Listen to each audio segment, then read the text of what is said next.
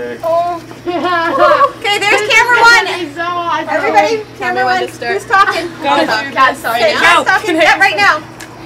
Hello everyone, we're the staff at the Binbrook Grill in Binbrook. Uh, we're doing our ALS Ice Bucket Challenge today. Just so everybody knows, we have donated all of our tips from the day for that foundation.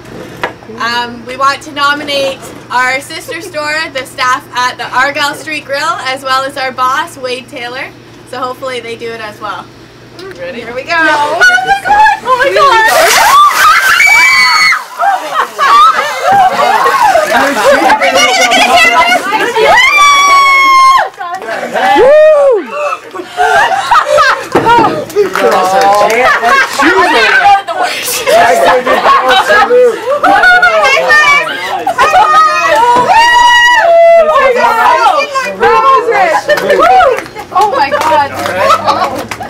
Got more ice all board.